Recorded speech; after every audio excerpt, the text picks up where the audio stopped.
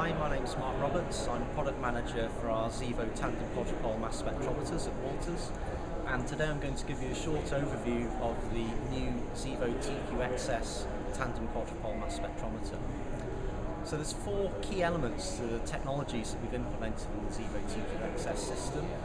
Um, the first is to do with sensitivity. So we've updated the StepWave ion guide to become a StepWave XS ion guide.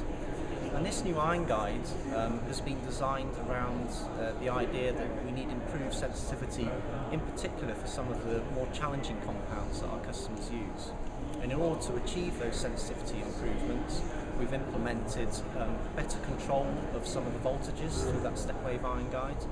And we also have a new segmented quadrupole second stage that focuses the ion beam and increases the transmission for the second portion of that ion guide, leading to increased sensitivity. So we see around uh, 2 to 10 times improvement in sensitivity dependent upon the analyte of interest.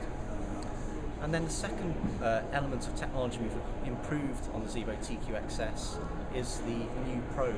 So this improves the user experience. So we have a new atmospheric ionization probe with the ESI and APCI options, and they're completely tool-free in the way that you can interact with that probe. So both routine maintenance, such as changing capillaries, and also um, any optimization of the probe is now completely tool-free. So for example, it takes less than two minutes to change a capillary on the system, whereas it used to take more than 30 minutes, and you might have poor operator to operator reproducibility when you're actually assembling those old probes. So it's much better, more reproducible system. And then the third element that we've designed into the system is taking the same technology that we had on the Xevo TQS Micro with the XDR detection system.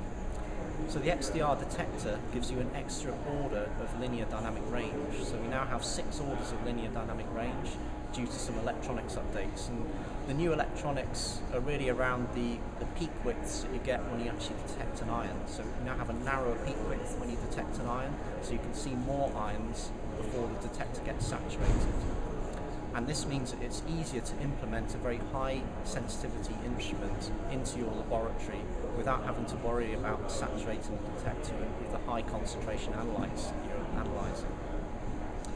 And then the final element that I'm just going to describe very briefly is a brand new novel ionisation technique called Unispray.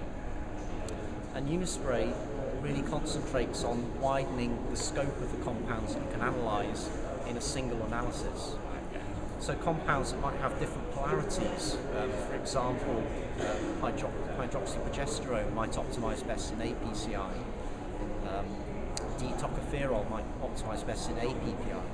Both of these compounds work extremely well with Unispray and you actually get better signal to noise for these compounds than you would on those optimized ionization techniques. So you're not having to change sources and change ionization techniques. Can do all of it in a single analysis and you also get the benefit of increased ionization efficiency due to smaller droplet formation. So it's easier to desolvate and easier to ionize the small droplets, and that's how you get the bigger peak areas and bigger response due to this new, new spray technology as well.